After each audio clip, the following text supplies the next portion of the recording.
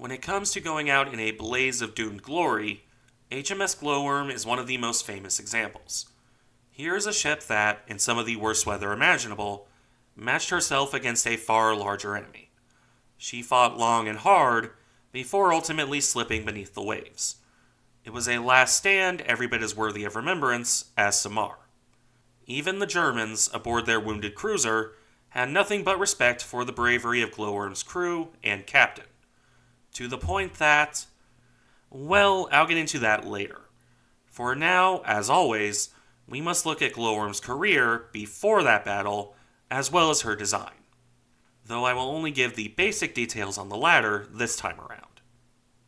HMS Glowworm was laid down on August 15, 1934, and launched on July 22, 1935.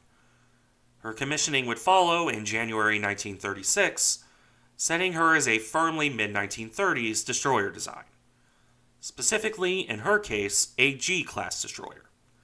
These were fairly average interwar destroyers in almost all respects. Relatively small, relatively lightly armed, and generally not sticking out from contemporary designs. Glowworm, as launched, was no exception to this rule. The destroyer displaced around 1,370 tons at her standard loading, with that rising as high as 1,900 tons on her deep loading. That tonnage was put towards an armament of four single 4.7 inch guns, carried in a typical layout two super firing on the bow and two super firing on the stern. As for her anti aircraft weaponry, this was pretty light, even by interwar standards. Only two quadruple 50 caliber machine gun mounts. These being Vickers 50 caliber guns, incidentally, not the more famous Browning variety. That said, to this point, she isn't any different from her sisters. Where Glowworm is special in terms of her design is in her torpedo battery. A standard G class destroyer carried two quadruple tubes for a total of eight 21 inch torpedoes. Glowworm carried a pair of experimental quintuple 21 inch tubes. This brought her total count of torpedoes to 10 fish in all. The remainder of her weaponry at this point was rounded out by a single depth charge rail and two depth charge throwers. As for her power plant and speed, Glowworm was fitted with three boilers, providing 34,000 shaft horsepower. This was driven through two shafts bringing her up to an impressive, although not spectacular, 36 knots. That brings us to an end on her design details, however. Now for the service history, which consisted of the usual peacetime roles and one major climactic battle. Now, as I said before, Glowworm was commissioned into the Royal Navy at the start of 1936. Upon completion of her sea trials, she was sent off to the Mediterranean Fleet, where Glowworm would spend most of her career though she didn't really get up to all that much in this period.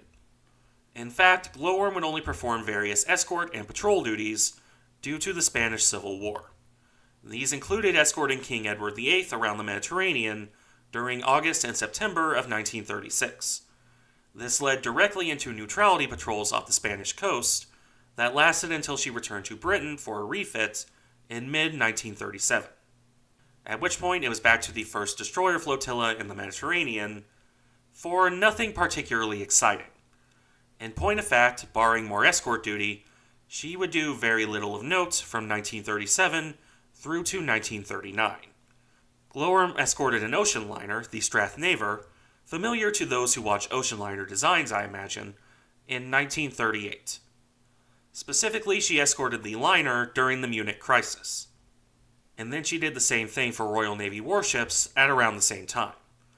More importantly, it was during this period, in July 1938, that Glowworm gained her new and final commander, Gerard Broadmead Roope, a man who would, in short order, pick up a couple nicknames. First, Old Ardover for a tendency to change course at a moment's notice, obviously a play on the command Hard Over and secondly, Rammer Roope for reasons that will become apparent as we go along. That said, and with all this in mind, I'd say the first real exciting moment in her career came on the night of May 16, 1939.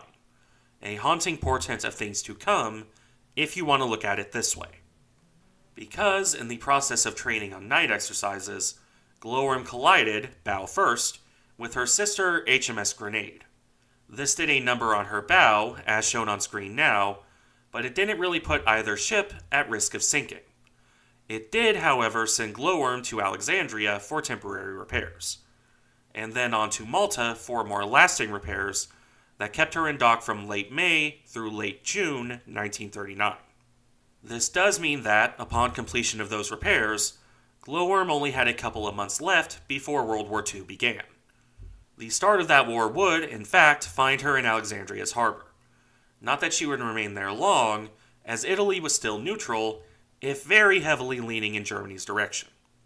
So instead of sticking around the Mediterranean, Glowworm was sent back to Britain in October 1939.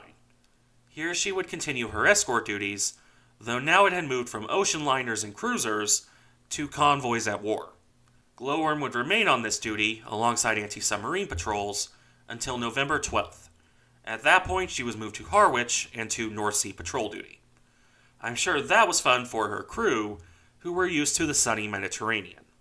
In any event, Glowworm spent the early war on these tasks until she had her second collision. This time, on February 22nd of 1940, Glowworm collided with the Swedish freighter Rex. This was in heavy fog, so one can't really blame either side too much here in an era before common shipboard radar. Regardless, you can now see why her captain picked up Rammer Roope as a nickname. If only the crew knew how fitting that nickname truly was. As for the damage from that collision, it would keep Glowworm in dry dock until late March. She would, at that point, rejoin the first destroyer flotilla of the home fleet. By early April, specifically the 5th, she was assigned to cover HMS Renown in Norwegian waters. On the 7th, Glowworm was detached to search for a torpedoman that had been lost overboard on the night of the 6th. This would be the last time any British ships saw HMS Glowworm. With the already terrible weather getting worse by the minute, Glowworm was reduced to just 10 knots. She was unable to track down Renown or any other friendly ships, as her gyro compass broke down. Reduced to steering by magnetic compass between the foul weather and equipment failures, Glowworm struggled along in the general direction of her comrades. As a sign of how bad the weather really was, another man went overboard on April 7th. This poor soul ended up tangled in ropes over the side of the destroyer, likely being drowned, frozen, and pounded against the hull by wave action. Unsurprisingly, by the time he was found and pulled in, the man was badly injured and dying. I suppose at least he was found, which is more than can be said for the previous loss. That said, with sailors being a superstitious lot at the best of times, this, in combination with the previous loss, was seen as a bad omen. In this case, they would be proven right. On the morning of April 8th, Glowworm, still searching for friendly ships, ran into two German destroyers. Now, Roope and his crew were aware that the Germans were lurking about but it is fairly likely they weren't expecting two destroyers, both of which far larger than Glowworm, to pop out of the gloom. Not helped by one of the pair, apparently, replying to Glowworm's challenges by claiming to be Swedish. This was reported by Glowworm's sole surviving officer, Lieutenant Robert Ramsay. We immediately challenged her, and she replied that she was Swedish. Then she opened fire. This destroyer was the Z 11 Bernd von Arnim. It's agreed that she was here, and this ship outmassed and outgunned Glowworm on her own. A second destroyer soon joined the fray, but I've seen differing claims on which destroyer this was. Most commonly, she'll be cited as Z 18, Hans Ludemann. But I've also seen the ship identified as Z 5, Paul Jacobi. I'd generally be inclined to go with Z 18 here, if only by virtue of more sources citing her as the second ship. Regardless of which destroyers were present, though, it hardly mattered. Individually, either ship was superior to Glowworm in most ways, at least in direct combat, no matter the fact they were stuffed with soldiers for the Norwegian campaign. With the odds 2 on 1 in such terrible weather, Glowworm was very much outmatched, and yet Roope still charged his destroyer in anyway. Glowworm's guns blazed away, even as her gun director flooded in the heavy seas. She was suffering in the waves, but the British ship still managed at least one hit on a German destroyer, both of which turned and fled even as they fired back. Keep in mind here that Roope was no one's fool. He was very well aware that he was outgunned, and the Germans retreating like that was suspicious at absolute best. Ramsay, the man from before, said that the captain thought the Germans were leading Glowworm on to something more powerful. He was right, if so. The destroyers were radioing for aid and falling back on a much larger, much more powerful, and much more dangerous warship. Glowworm followed along because Roope had his duty to keep in mind. Glowworm could theoretically disengage with her speed, even in that weather, but that would be a failure of his mission. Roope had to keep in mind the bigger picture. His destroyer, if it found something like a cruiser or a battleship, would have to shadow that ship and make reports on the enemy position so that something like Renown could come in and engage the Germans. With that in mind, Glowworm followed, and she would run into her target soon enough. By 10 a.m. that morning, a much larger form came out of the fog. This was the heavy cruiser Admiral Hipper, an ostensibly 10,000 ton ship that outmassed Glowworm by a substantial margin and a ship that actually displaced more like 16 to 18,000 tons. At first, the German cruiser couldn't make out which destroyer was which. This is telling because Glowworm was, again, quite a bit smaller than her German counterparts. It goes to show just how bad the weather conditions really were. That said, within 8 minutes, Hipper opened fire. At around 9,000 yards, the cruiser's 8 inch rifles began to blast away at Glowworm. By the fourth salvo, showing remarkable accuracy considering the situation, hits began to land on the destroyer. Understandably, Glowworm began to make smoke, though this would prove to be less useful than hoped. Admiral Hipper was, after all, carrying radar. Not the best for gunnery, but certainly enough to keep an eye on the destroyer, even with her smokescreen making visual targeting difficult. As a result, when Glowworm exited her smokescreen, she was now even closer to Hipper. Close enough that the German cruiser could bring both her main guns and her secondary battery into the action. Between the 8 inch and 4.1 inch guns, Hipper's fire began to show on Glowworm. Her surgeon's party was wiped out. Her radio room, bridge, and forwardmost 4.7 inch gun were all hit, with the gun destroyed. Additional hits landed on the captain's cabin, the engine room, and the mast. That last one caused a short circuit that had her siren blazing away for the rest of the battle. Imagine for a moment here two ships blasting away at each other in smoke, fire, fog, and crashing waves. The clash and din of battle deafening you as you run around trying to avoid being killed. And suddenly, on top of all of that, you have a siren constantly blaring like a banshee in the background. I can imagine that unnerved men aboard the destroyer and the cruiser. Unnerving or not, though, it didn't slow the battle or stop Glowworm from fighting back. Throughout all of the hits to the ship, including the bridge, Roope escaped uninjured. I've seen at least one reference to shrapnel killing his dog right between his legs, but the British captain wasn't injured at all. This allowed him to order Glowworm to fire one set of torpedoes at only 870 yards away from the cruiser. These missed, though the distraction helped Glowworm duck and smoke again before launching her second set of torpedoes. Unfortunately, while some of the 10 torpedoes came very close to hitting Hipper, none would actually connect. The German captain kept the cruiser pointed bow on at Glowworm for exactly this reason. With the torpedo attack a failure, and his ship burning and slowly settling in the water, Roope was out of options. His remaining three guns continued to blast away, but they weren't going to sink Hipper. And while there is some argument on how intentional the following actions were, I prefer to believe the more common survivor testimonies in this case, which state that, as Hipper followed Glowworm through the smokescreen, Roope turned to his helmsman. The two ships were now practically right on top of each other, with the cruiser largely undamaged and the destroyer crippled far too late to escape, and with no easy way to fight back effectively. Except, well, every ship always has at least one torpedo.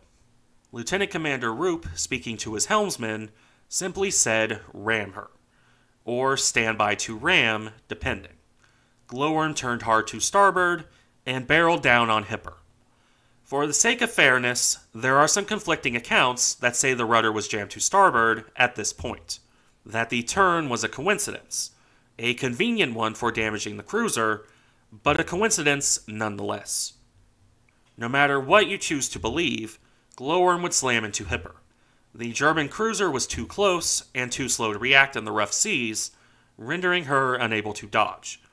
Glowworm, siren blazing like a vengeful spirit, bore down on Hipper with the result that the destroyer's battered bow sliced into the cruiser's side.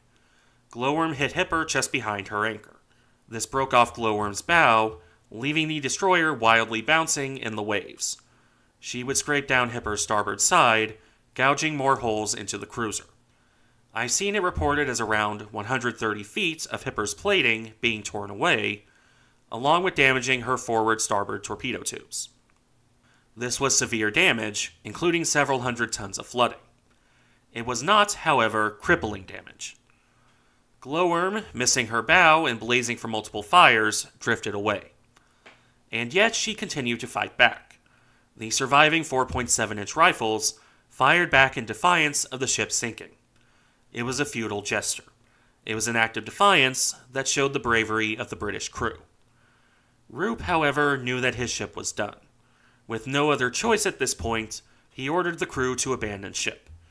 With fires raging and the ship rapidly settling, the crew of Glowworm began to gather anything that would float and prepare themselves to abandon ship. It is at this point that some reports say her boilers, still hot, detonated as the flooding reached them. In any case, so ended the story of HMS Glowworm, but not the story of her crew. With a sudden silence descending, now that the siren was gone, the German cruiser sailed alone. It was at this point that one of the most honorable actions at sea, certainly during the Second World War, took place. The captain of the Admiral Hipper, Hellmuth Heye, turned his ship downwind and began to pluck survivors from the water. He ordered his crew to throw lines over the side and help the British survivors aboard. Soldiers and sailors alike set to this task laboriously pulling weak and wounded men up the lines. This in spite of the fact they had just been fighting, in spite of the fact that Glowworm had rammed Hipper, putting a massive hole in her side that was still taking on water. None of that mattered in the moment as simple humanity took over. Men helped their fellow sailors out of the water as best they could. It didn't matter that they were enemies or that they had just been doing their best to kill each other. Heye and his crew put their ship as close to the survivors as they could and pulled as many men out of the icy Norwegian waters as they could. Unfortunately, for all these efforts, it wasn't enough. Only 30 or so men would ultimately survive. I've seen reference to 40 men pulled out of the water, with at least 6 later dying, leaving 34 survivors at most. I've also seen the number 31 floating around for survivors. These men were treated well by their German counterparts.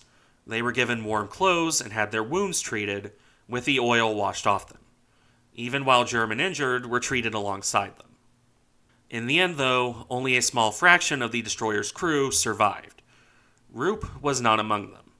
He remained in the water as his crew was helped aboard the German cruiser, personally pushing the other men forward and helping them onto the ropes. He went above and beyond to ensure as much of his crew found safety as possible. With the direct result that when he finally began to climb a rope himself, his body gave out. Pushed past its limits, exhausted and frozen from the icy waters, his grip slipped. Lieutenant Commander Roope fell back into the water, vanishing from sight in the dark waves. His story continued, however. Continuing to show an uncommon honor and respect for his enemy, Captain Heye would put together a message Sending this on through the Red Cross, he personally recommended Roope for the Victoria Cross. An almost unprecedented act of a man recommending his enemy for the highest honor possible in the enemy country. In the end, on the strength of this message, Roope would receive the Victoria Cross, with the award recognized in July of 1945. And now, at the end of this video, we come to the end of the story of HMS Glowworm a story of heroism and uncommon respect between enemies. a story that should never be forgotten, even as the survivors pass from living memory. Thank you for watching. Remember to like, comment, and subscribe if you enjoy the content, and I'll see you in the next one.